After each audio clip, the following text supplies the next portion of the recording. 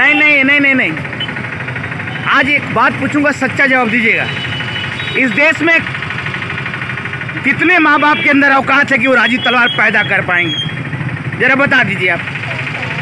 कितना शर्मनाक है कि एक बच्चा पाँच सालों से सड़कों पे खड़ा रहता था, आप लोगों को दिखता नहीं था, आप जैसे लोग पागल कहते थे। कितना शर्मनाक है समाज के लिए कि आप कभी सोचती हैं?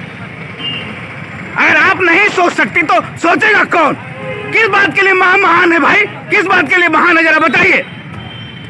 उषा डायमंड ज्वेलरी, उस नारी के लिए, जिसकी सुंदरता है उसकी शक्ति में, जिसकी अच्छाई से रोशन होती है ये दुनिया, जिसके दिल से बहता प्यार का दरिया इजूसा डिस्ट्रीब्यूटर के लिए संपर्क कीजिए।